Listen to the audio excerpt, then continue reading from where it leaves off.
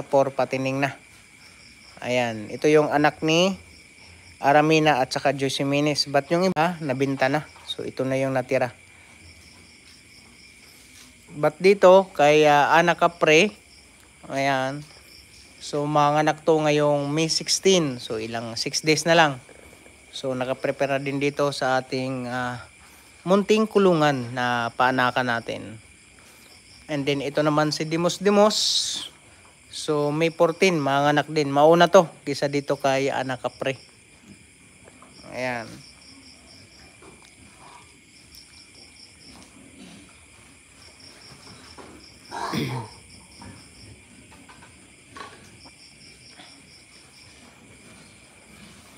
But dito tayo sa kabila na kulungan, kabilang building.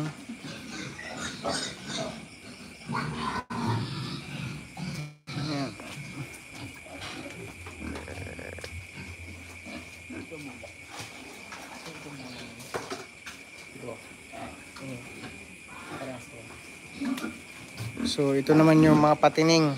Ayan. Ito yung patining ng ating ah, kapatid.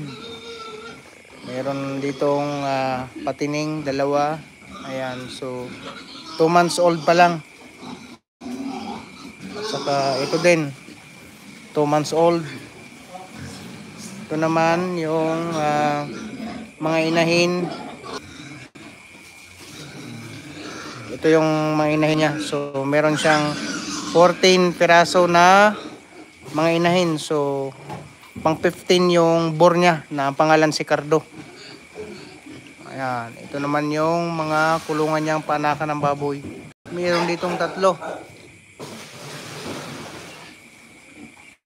Andun pa sa dulo, meron din dong ah, nursery. Ayan, naka-nursery niya. Nandun, may mga piglets din doon. Napunta natin.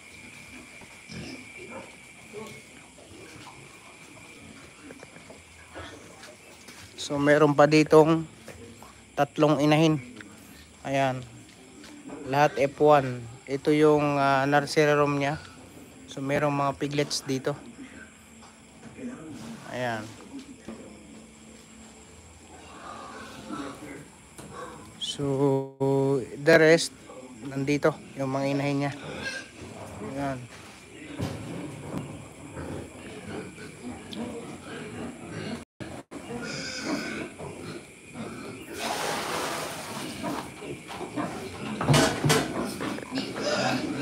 doblaje.